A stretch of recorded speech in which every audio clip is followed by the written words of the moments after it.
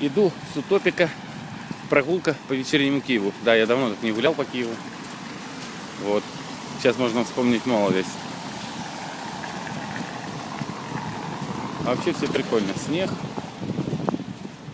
Снял дождь, туман. Ну да. А теперь снег. Интересно, в Полтаве как? Блин, это я в Полтаву приеду ночью. А в 10 утра, ого, уже там куча дел.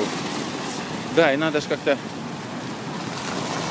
встретиться с господином Пальчиком Виктором Ивановичем. После полученных документов. Есть как бы два таких весомых вопроса. Как он говорил, який придурок дав дозвіл, так от чому цей придурок досі там працює? Це по-перше. А по-друге, а сколько он еще таких бумаг подписывал? Сейчас надо делать запросы, за последние пять лет смотреть, мониторить. И мы увидим э, всю картину э, с памятниками архитектуры, в которых в данный момент размещены там кафе, там что-то еще. Вот. И кто за этим всем стоит? Обидно, обидно. Эти люди, пользуясь своим положением, разваливают, разрушают памятники, а в конце своей трудовой деятельности они еще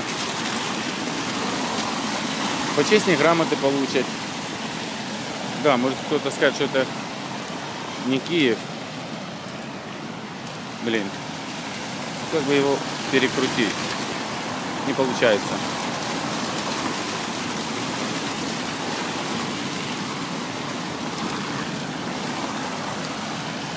Да нет, это где раньше баррикады тут стояли.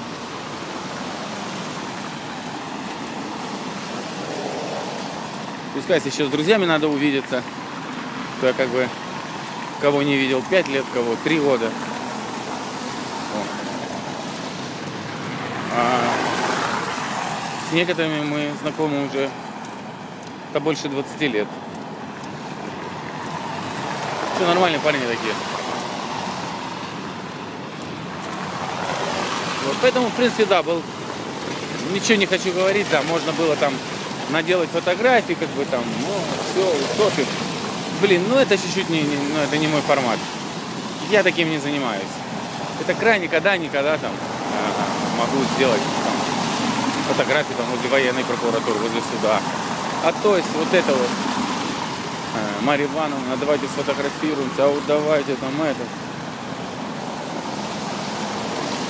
Толку никакого. Хотя, с другой стороны, видите, показывает практика, что эти дешевые картинки, с одной стороны, они играют очень такую большую роль.